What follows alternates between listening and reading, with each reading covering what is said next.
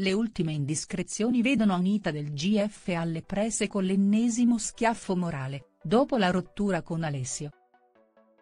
Sono trascorsi ormai diversi mesi dalla fine del Grande Fratello ma ancora oggi molti ex concorrenti fanno parlare di sé. Tra di loro c'è Anita Olivieri, finita spesso al centro della cronaca rosa durante la permanenza nella casa per i suoi continui battibecchi con Beatrice Luzzi. Tra le due non è mai corso buon sangue, complice il rapporto che le legava un altro inquilino, Giuseppe Garibaldi, con il quale la stessa Anita aveva instaurato uno stretto legame di amicizia.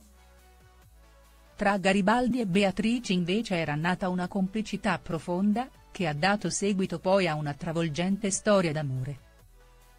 Questa situazione però ha fatto altro che inasprire la relazione tra le due donne, le quali, una volta uscite della casa, sembra che non si siano più rivolte la parola. Ma nelle ultime ore non è stato questo a far parlare di Anita, bensì una notizia relativa al suo compleanno festeggiato poche ore fa nella capitale. GF, duro colpo per Anita dopo la rottura con Alessi, ex Geffini snobbano il suo compleanno. In occasione del suo compleanno, la scorsa settimana Anita è partita per Ibiza, insieme ad altri ex inquilini, tra cui Paolo Masella e Letizia Petris.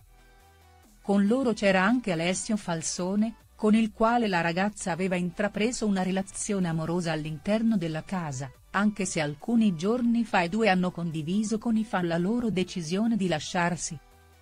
Tornata dalla vacanza spagnola, la Olivieri ha deciso di festeggiare insieme ad altri ex concorrenti del reality, ma secondo l'esperto di Gossip Amedeo Venza, non tutti gli invitati si sarebbero presentati nel locale romano dove si sarebbe svolta la festa.